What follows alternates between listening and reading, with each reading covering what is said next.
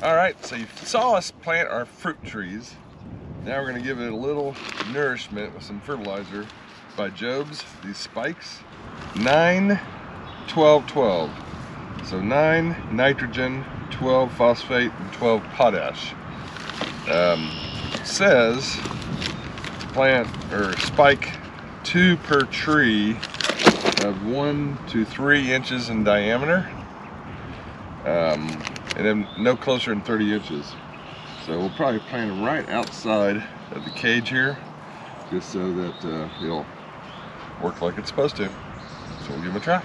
So apparently this is the spike then this is a cap that you put on over it to hit it with your hammer to drive it down into the uh, ground. So let's give it a shot. So I contemplated on using a sledgehammer, but I couldn't find it. So we'll just go ahead and drive this just outside the cage, like so.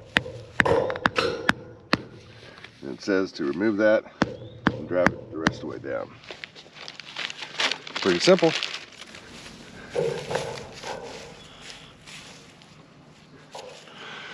And we'll do one more just like the first one.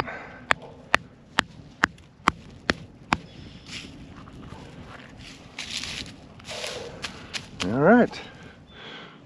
We'll see how that works.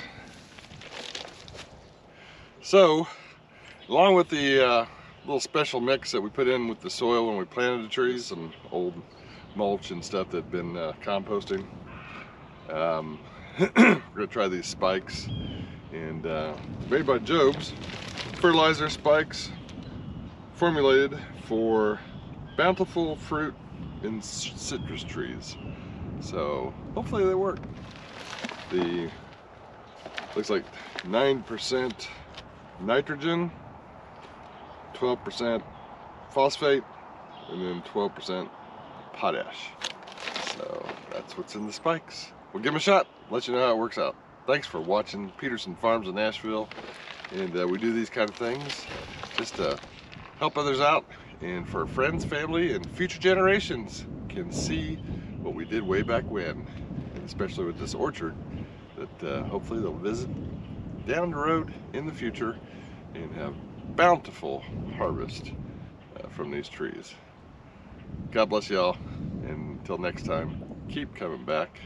Peterson's Farm in Nashville.